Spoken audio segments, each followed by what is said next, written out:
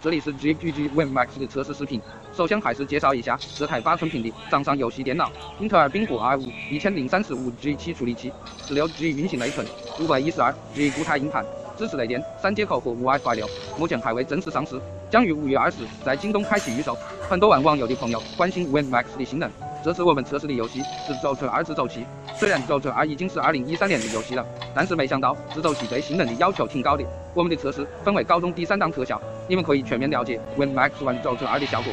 经过我的测试，《轴承二》开启 DX 十一或 v l 保存模式效果更好。高特效模式下，默认有六十到七十 FPS，大家的话会降到三十到四十 FPS。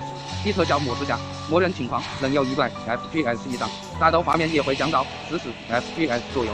所以我的结论是，玩《左慈二》还是调到高特小比较划算。你们觉得呢？